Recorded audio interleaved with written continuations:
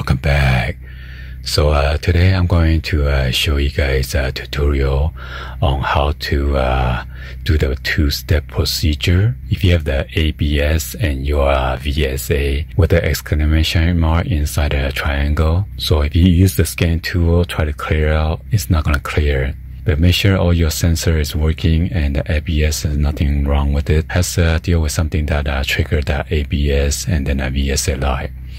So anyway, you will need to uh, locate your OBD2 uh, connector, which is on the bottom of the steering wheel column. And I draw a graph. So if you got a Y connector on the bottom right here, you will need to count from the left hand side, one, two, three, four. We will need to short out the four pin and then the nine pin together. So you need to use a paper clip or a hot wire to jump those two wires together. So it'll be five, six, seven, eight. This is the pin nine right here. So I'm going to use this uh, metal uh, paper clip that I'm going to bend it later on. So step number one is to uh, locate the OBD2 connector and show the pin 4 and 9 with the paper clip or a wire. And uh, we're going to look at the dash, monitor the ABS on the dash. So we're going to press the brake down and hold it down while we turn the ignition on without starting the car into the on position. And then uh, ABS will come on until you see the ABS uh, goes off. You will be going to release the brake off the pedal and then uh, after that, the ABS light will come back on. Then we're going to press the brake down again and wait for the ABS light to go off. And then after that, we're going to release the brake again. So the ABS uh, light will blink twice. So that will confirm the reset of your ABS uh, light. Okay. So right now, I'm going to show it to you guys right now. We have the ABS uh, light that is on, and then the VSA with the exclamation mark inside the triangle.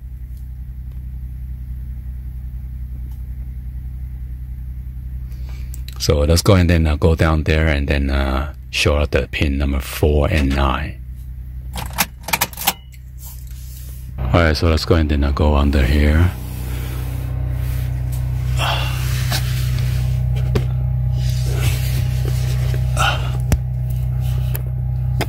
So there's uh, one, two, three, four, and then uh, pin number nine is right here. I'm gonna fold the paper clip so I can jump those two pin together. Okay.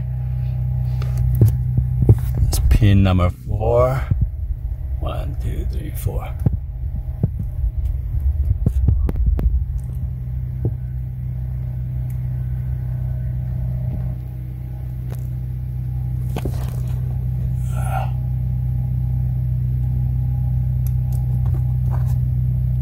Alright, so we uh, show out those two pin. And then uh, let's go up there and turn the ignition on and stuff like that. So I'm gonna hold the brake down and then turn the ignition to on position. Don't start the car. So the ABS light went off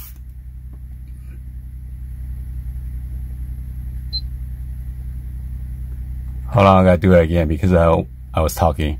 So once the ABS uh, light went off, we're gonna release the brake. So I'm gonna start over again.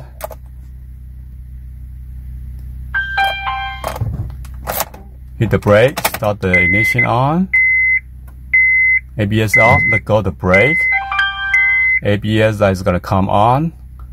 Gonna hit the brake again. And now it come on. And hopefully it's gonna release blink twice. One, two, there you go. So we just uh, reset the ABS already, all right?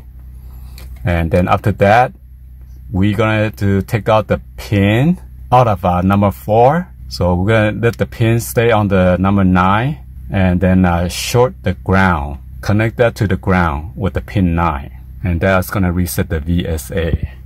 I'm just going to use this uh, black wire from my uh, voltmeter and then uh, jump it.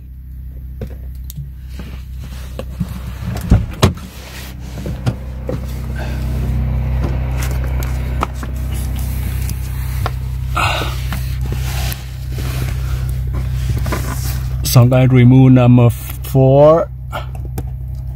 Keep the knife stay there.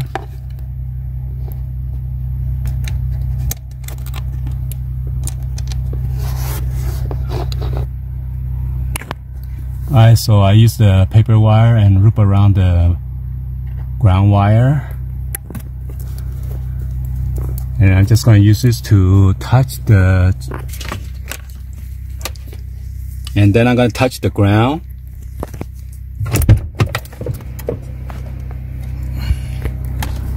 Which is a screw right here. By the door. So uh, without hitting the brake or anything, we're just going to turn the ignition on.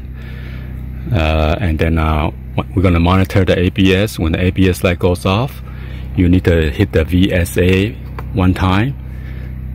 VSA off uh, button, you're going to hit the VSA off uh, button one time. And then uh, your ABS light should come back on. And then we're going to hit the VSA button one more time you're gonna wait until all the lights uh, goes off okay? And then uh, that should uh, reset everything. So I need to do both hands. So let's go ahead and do this. So yeah anyway that's how you reset it. Unfortunately uh, hopefully my sensor is not bad. I mean I need to check my sensor if there's any problem with the sensor is uh, faulty or anything but that's how you reset it Anyway, hopefully you guys uh, give a thumbs up, like the video. Please uh, be sure to hit the subscribe button, turn on that bell for notification, or drop any comments down below. And uh, thank you for watching. I'll see you guys on the next video. Like always, peace.